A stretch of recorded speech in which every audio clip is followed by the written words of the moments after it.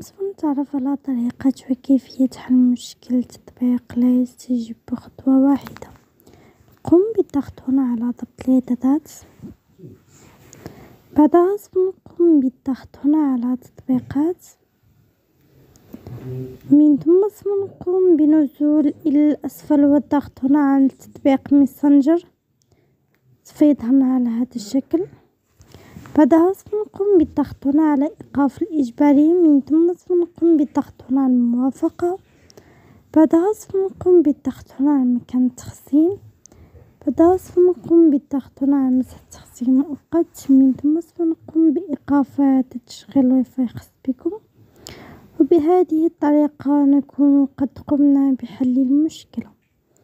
ولا تنسوا الضغط على زر like بالاشتراك في القناة ونراكم فيديوهات القادمة.